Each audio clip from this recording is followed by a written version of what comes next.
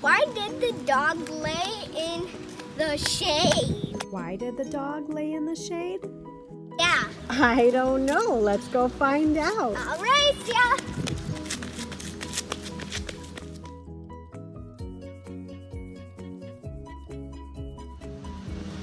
He didn't want to become a hot dog. He didn't want to become a hot dog? Are you eating a hot dog? So funny. High five.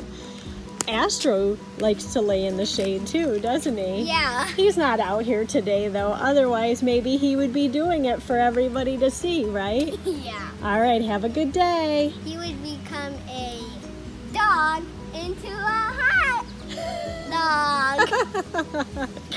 have a good day, everyone. Have a good day, everyone. See you tomorrow. See you Tomorrow, bye. Bye.